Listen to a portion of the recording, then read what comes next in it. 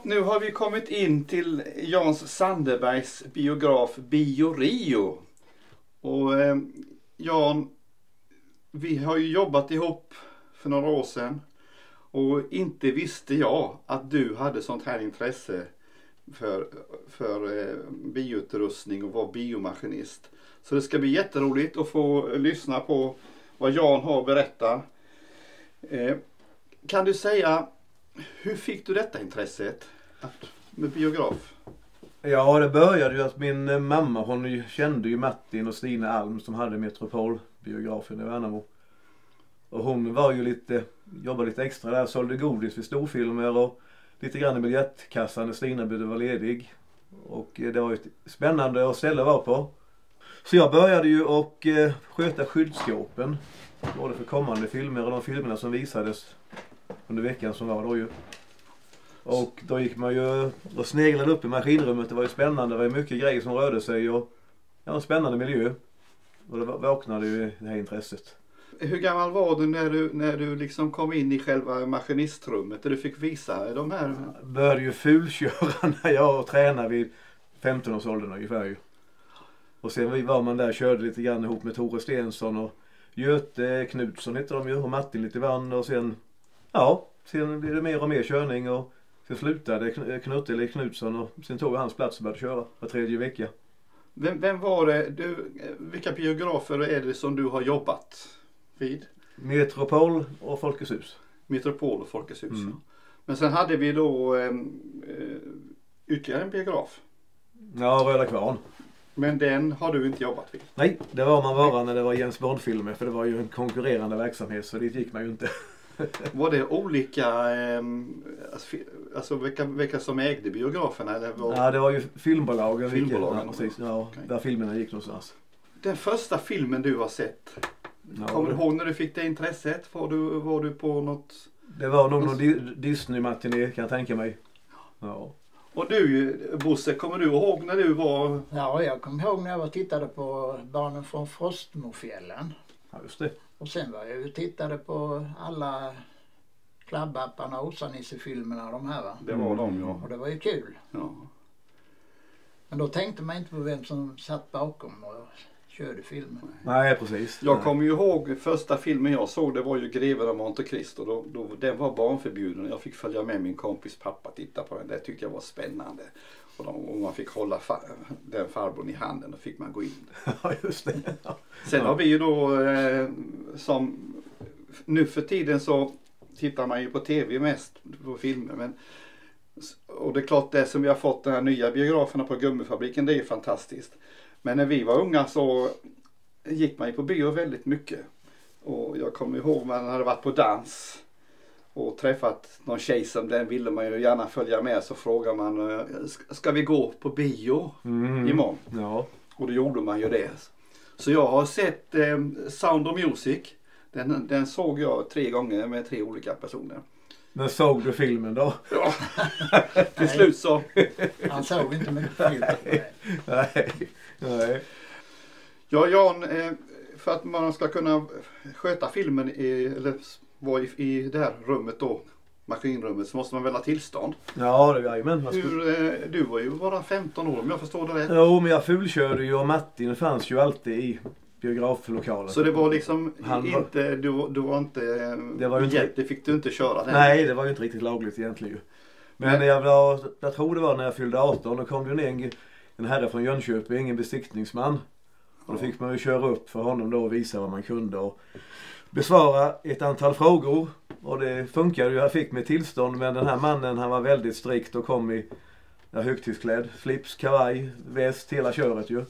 Och när han gick så sa han så här att, och tittade mig spänt i ögonen. En sak ska du veta, unge herr Sanderberg.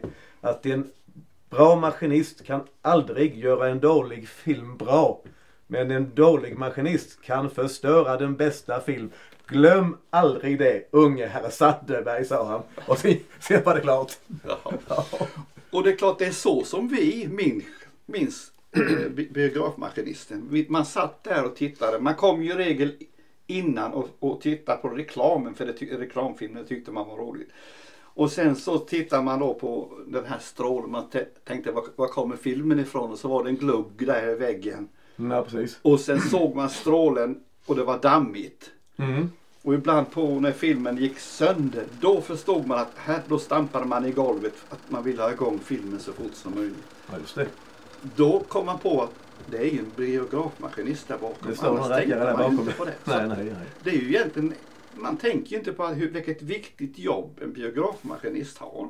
Nej, ingen bio utan en maskinist. När filmen gick av, hur, hur hanterar du det? Du har liksom, det vill ju till att man snabbar på det så att vi, vi satt ju där och stampade och, och undrade när kommer filmen igång igen och sen rätt så det... hur, gick det till i maskinrummet? Ja, så rök filmen av det var det bara att stanna maskinen ju, projektorn. Ut med det nedre, nedre hjulet, in med ett tomt hjul och trä om filmen. Och köra igen just. Fick man laga den efteråt sen då ju. Fick du panik någon gång så här? Nej. sitter nej, men man vill ju skynda på så att det kommer igång så snart som möjligt givetvis ju. Men inte panik, nej det fick man inte. Men det här med, Jag var ju osynliga där bakom. nu är du ju rätt så ung så du var ju inte med när, de hade, när det inte var ljudfilm så att säga, när det var stumfilm. Men hur funkar det här med, med eh, när ljudfilmen kom? Eh, Alltså synkar det i filmen eller hur fungerar det med ljud och bild? För om, om det går sönder som man har, ligger det i filmen? Det ligger, ljudet, ljudet ligger ju i film. Så det är inget som du styr där? Nej, nej, utan det, är, det följer ju filmen. Jag kanske ska fråga men hur länge, hur länge har du hållit på med det här, eh, den här hobbyn som du har haft? Hobbyn eller kört på film. du körde där eh, Ja, först kanske? Ja, 15 år kanske. Lite drygt. Och sen har du kommit på det här att för att vi ska kunna komma ihåg hur, hur det såg ut förr. Att du har gjort den här lilla biografen hemma. Mm. Och att du har samlat all den här utrustningen för framtiden tycker jag är helt fantastiskt. Jag kallar det för ett litet minimuseum. Som, jag är så glad att det finns någon som vill ta hand om det här och visa hur, hur det har varit förr. Hur, hur kom det sig att du tog, tog hand om det? Hur gjorde du för att få samla hem? Eh, De här stolarna vi sitter i exempelvis, var kommer de ifrån?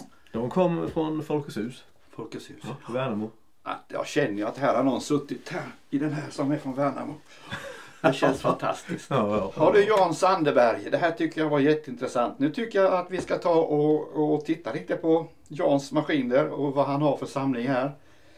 Så är ni välkomna till och ta del av det. Jaha, nu står vi framför en Anneman 1 från 1907 ungefär. Stumfilmsprojektor. Och den var ju handvevad från början. De fick ju stå här och veva då och hålla koll på bilden eller på duken att gubbarna rörde sig i rätt hastighet. Så det var ju ganska, det var ju ett ganska enformigt jobb att stå här och veva. Och eh, filmerna var ju inte så långa i och för sig men det var ett himla vevande. Och ljuset i filmen det kom ju av ett bågljus. Eh, jag sitter i en lampa för att visa hur det funkar men det är ju två kolstavar med en ljusbåge emellan som alstrar ljuset till filmen då ju. Det är ju 1907 sen här borta har vi ju lite modernare grejer. Här är en AGA-maskin. Den har stått på en biograf i Stockholm. Den är från 54 och svensktillverkad. Nästa maskin där är en Erneman 9. Den är tillverkades mellan 71-72 fram till 90-talet. Ganska modern maskin. Och den har stått uppe i Mullsjö.